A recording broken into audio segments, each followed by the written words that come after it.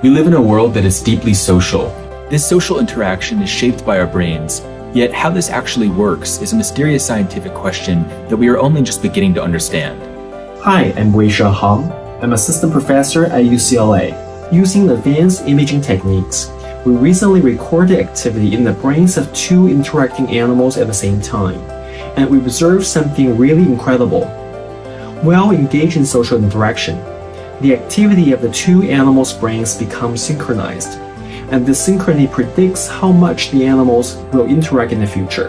Amazingly, during social competition, dominant animals tend to drive brain synchrony more than subordinates, which may reflect how social status affords greater control over social interactions. We are excited about this work because it provides new insights into fundamental brain processes that shape social interaction.